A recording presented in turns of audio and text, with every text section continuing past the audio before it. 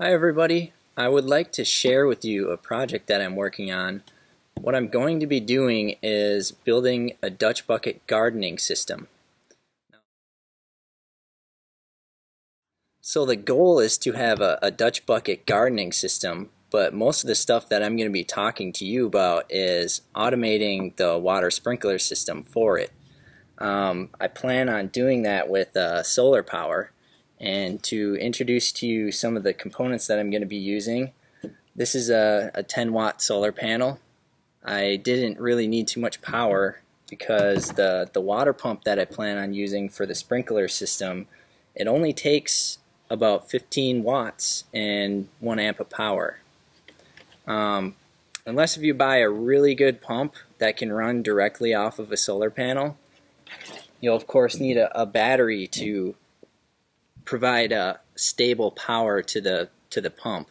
Now this is a 12 volt, uh, 10 amp hour battery. I tried not to go overboard on some of the parts. I tried getting the smallest parts possible for what I need.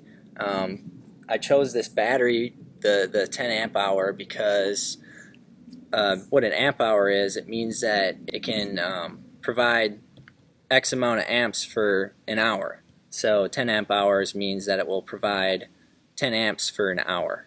Um, having that said, since this pump only takes 1 amp, it will run this pump for about 10 hours before the battery is exhausted of all its power. So if I have a, a day or two with no sunlight, I should be in good shape.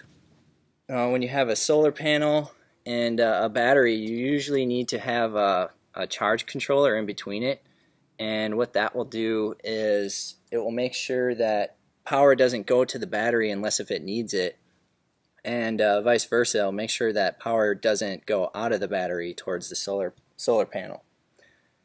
Now one of the coolest components is this this timer here that's going to allow me to program the the water cycle for the sprinkler system this runs off of uh, 12 volts DC, which is what you know this solar panel and the battery will provide.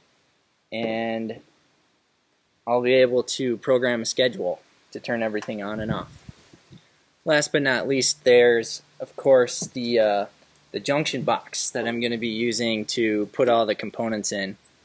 Now this box isn't waterproof or water resistant at all, so I'm going to have to be careful it will be outside, so I'll have to make sure that it has protection from rainfall and stuff. So believe it or not, one of the biggest things of this project was the planning aspect of it.